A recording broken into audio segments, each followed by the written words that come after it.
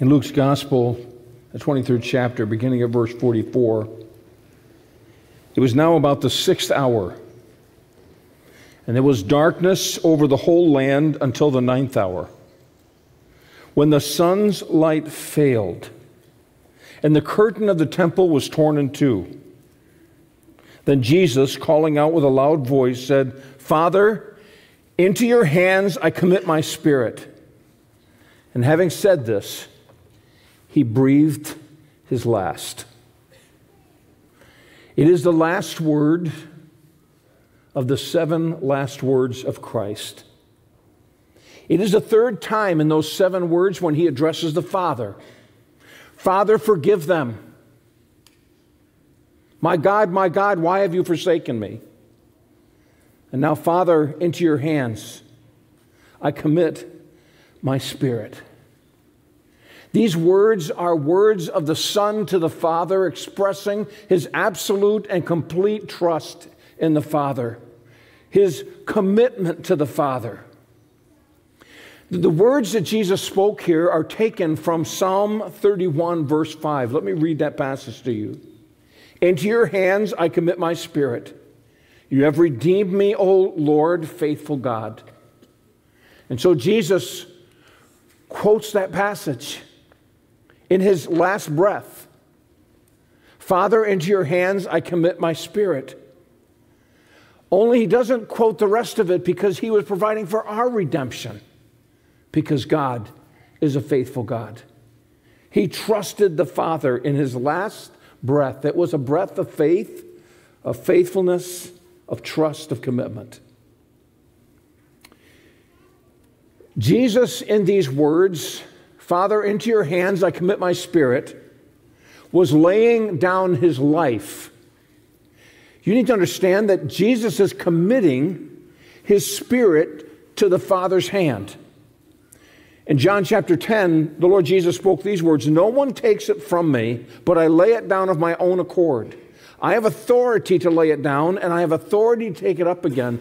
Jesus, as God and as man, willingly laid down his life. In his last breath, he, in his still sovereign authority as God, chooses to lay down his life. He laid down his own life on the cross. Do not think of the death of Jesus as a martyrdom or as simply a murder. Jesus laid down his life voluntarily on the cross. That's what he did.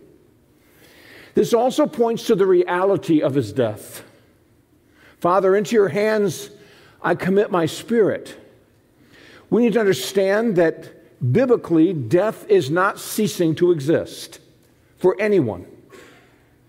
Death is the separation of the immaterial part of a person from their physical body. That's what death is. Death is separation. So, in these words of Jesus, when he said, Father, into your hands I commit my spirit, he is committing the immaterial part of his life to the Father while his body is breathing its last. Showing this was a real and complete and full death.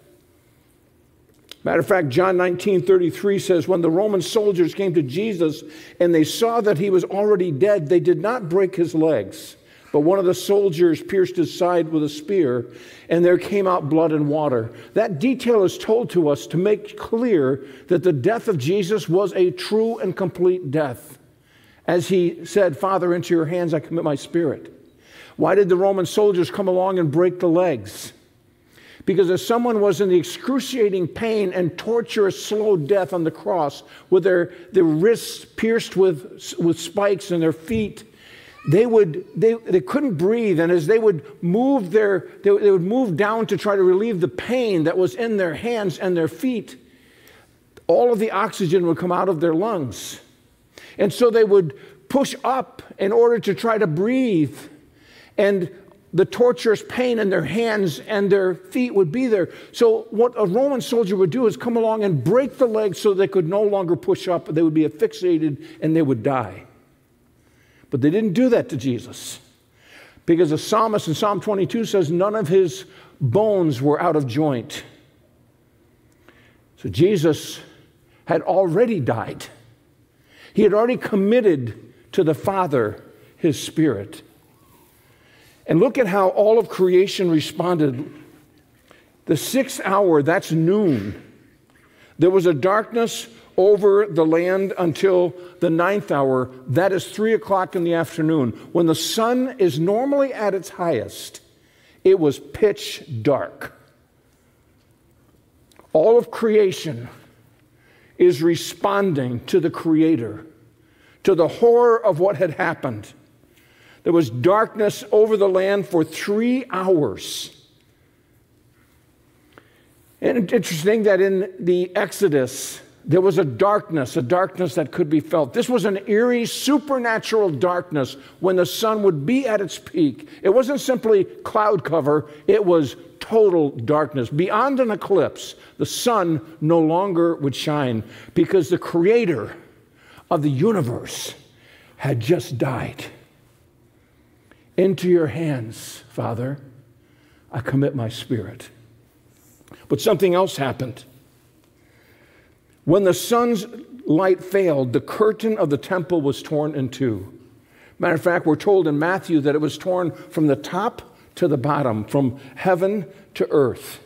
We're reminded of these words from Hebrews chapter 10, verse 19 to 23. Therefore, brothers, since we have confidence to enter into the holy place by the blood of Jesus, by a new and living way that he opened for us through the curtain that is through his flesh and since we have a great high priest over the house of God, let us draw near with a true heart in full assurance of faith, with our hearts sprinkled clean from an evil conscience, our bodies washed with pure water. Let's hold fast the confession of our faith without wavering.